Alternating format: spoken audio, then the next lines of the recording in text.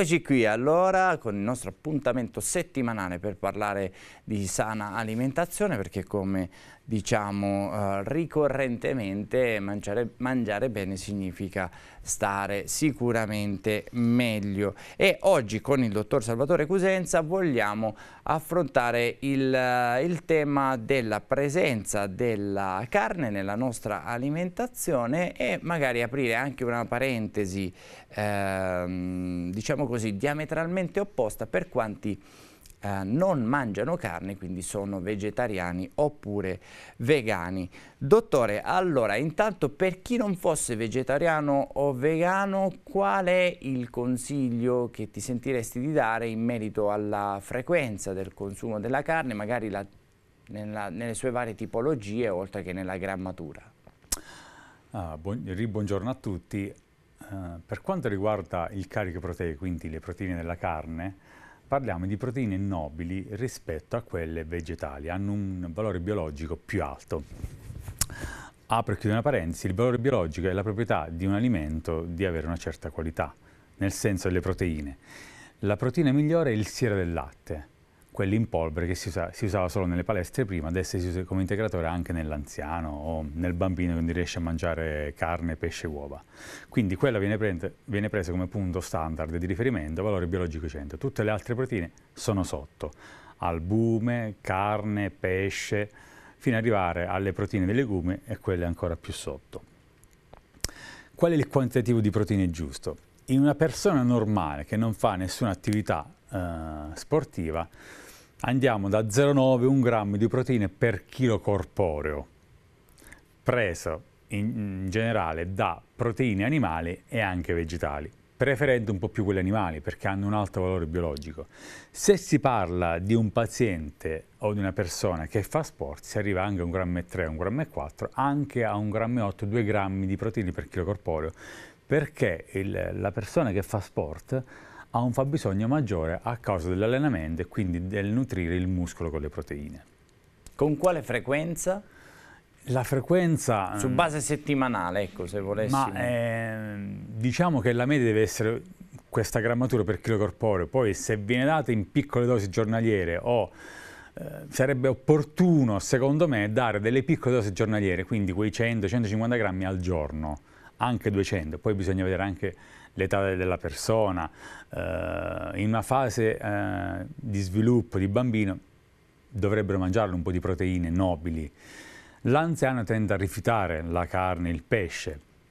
Se possiamo scegliere, meglio preferire il pesce, non di allevamento. Però capisco anche che questo è abbastanza difficile. Un'ottima fonte di proteine sono le uova, le uova quelle allevate all'aperto, biologiche.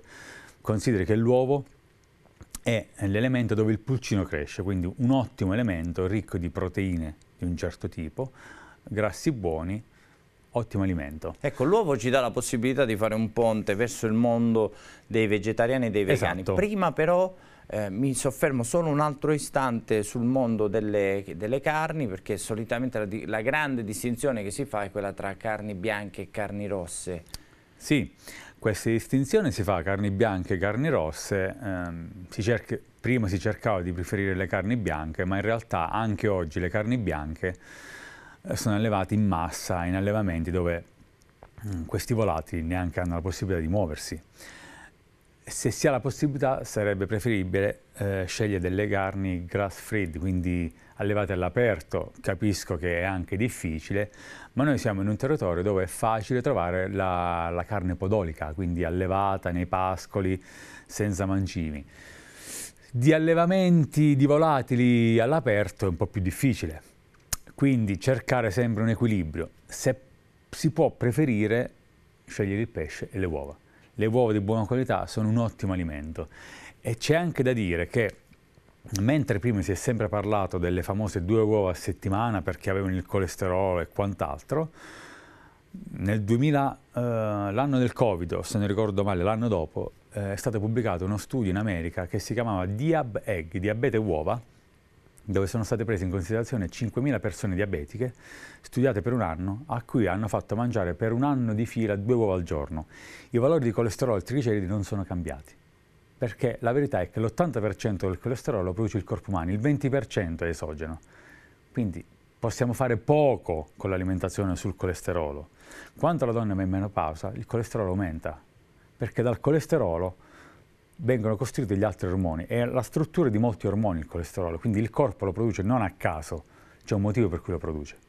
E quindi ecco, oltre... Poi, scu prego, scusami prego. Tony, se poi esageriamo con latticini, carne grassa e quant'altro, tende a aumentare. Ovvio. Quindi la carne bianca è meno ricca di colesterolo. Perfetto. E anche il pesce. Lato eh, vegetariani vegani, oltre il grande classico dei legumi, l'uovo quindi rappresenta un L'uovo e i latticini. Nel vegetariano, quindi eh, il vegetariano eh, lattovo, quindi può assumere uova e latticini in tutte le sue forme, tra cui troviamo anche le proteine in polvere del latte, che sono la migliore fonte di proteine, come dicevo prima. Il vegano è già un'estremizzazione un del concetto alimentazione. Siamo nati onnivori, quindi dovremmo mangiare un po' di tutto. Ridursi a mangiare solo legumi o mh, mm, verdure, ortaggi, alla fine dei conti ti porterà a delle carenze eh, di, alcuni, di alcune sostanze. Eh, è sempre un'estremizzazione, come anche un'estremizzazione mangiare solo proteine cioè tutti gli estremi sono un danno per la salute. Siamo nati onnivori e moriremo onnivori. Bene, l'importante ecco, è mangiare con equilibrio, moderazione, con grande consapevolezza.